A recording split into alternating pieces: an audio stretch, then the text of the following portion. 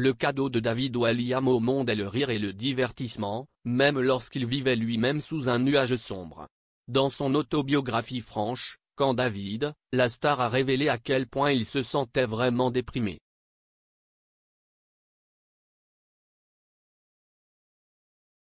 Le père d'un enfant a écrit, ce n'était pas seulement la terrible tristesse élémentaire que je ressentais, mais la peur.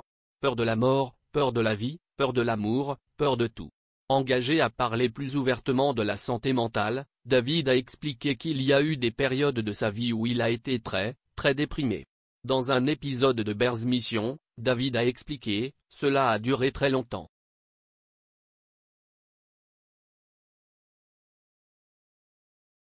Je n'aime pas vraiment être seul avec mes pensées pendant très longtemps.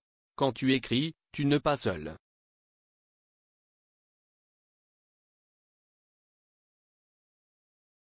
Créateur de Get Granny Strikes Again, David a su mettre son énergie dans l'écriture de livres pour enfants.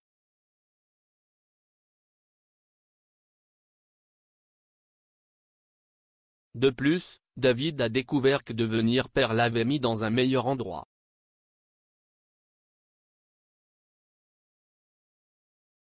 L'homme de 50 ans a déclaré, toute votre vie commence à tourner autour d'eux et vous arrêtez de vous attarder tellement sur vos propres problèmes, parce que vous n'avez pas le temps de le faire.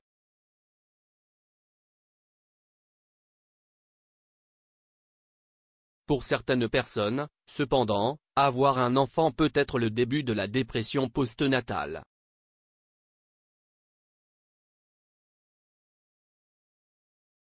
Le NHS a déclaré, la dépression postnatale est un type de dépression que de nombreux parents ressentent après avoir eu un bébé.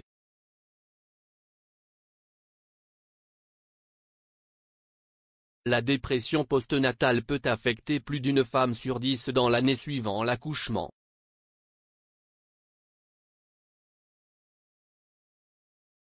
Cela peut également affecter les pères et les partenaires, a ajouté l'organisme de santé.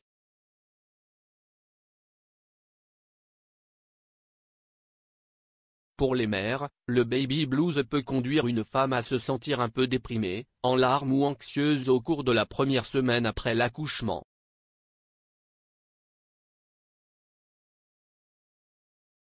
Bien que le baby blues ne dure pas plus de 15 jours, tout symptôme persistant pourrait être un signe de dépression postnatale.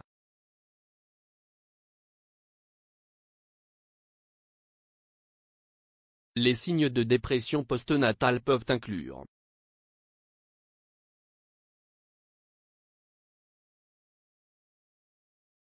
un sentiment persistant de tristesse et de mauvaise humeur.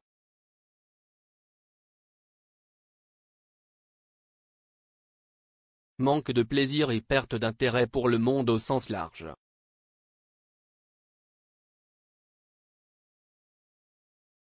Manque d'énergie et sensation de fatigue tout le temps.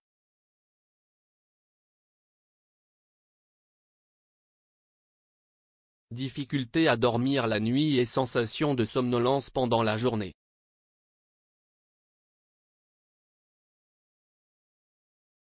Difficulté à créer des liens avec votre bébé.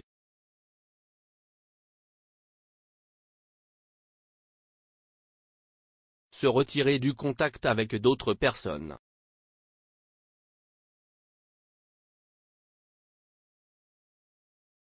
Problème de concentration et de prise de décision.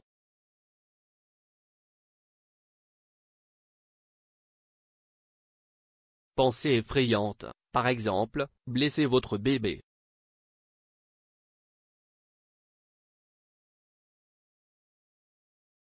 Beaucoup de femmes ne réalisent pas qu'elles souffrent de dépression postnatale, car elle peut se développer progressivement, a déclaré le NHS.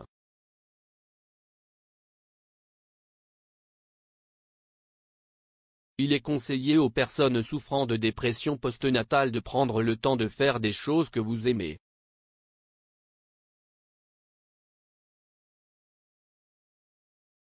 D'autres mesures d'auto-soin incluent également le repos chaque fois que vous en avez l'occasion, dormir autant que possible la nuit et faire de l'exercice régulièrement.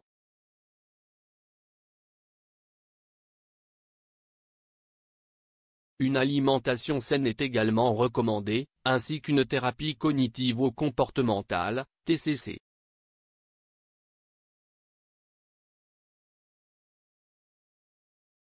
Le NHS a déclaré, un médecin généraliste peut être en mesure de recommander un cours d'auto-assistance ou peut vous orienter vers un cours de thérapie, tel que la thérapie cognitivo-comportementale, TCC.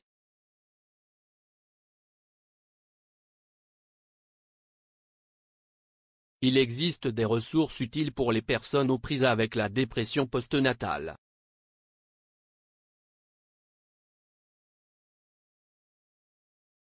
Les exemples incluent l'Association pour la maladie postnatale, APNI, et les conseils et le soutien pour la dépression pré- et postnatale, PANDA.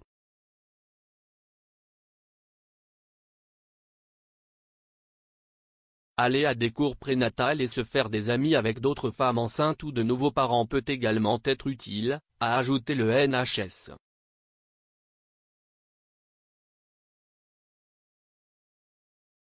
David Walliam sera l'invité du Jonathan Ross Show, le samedi 20 novembre à 21h30.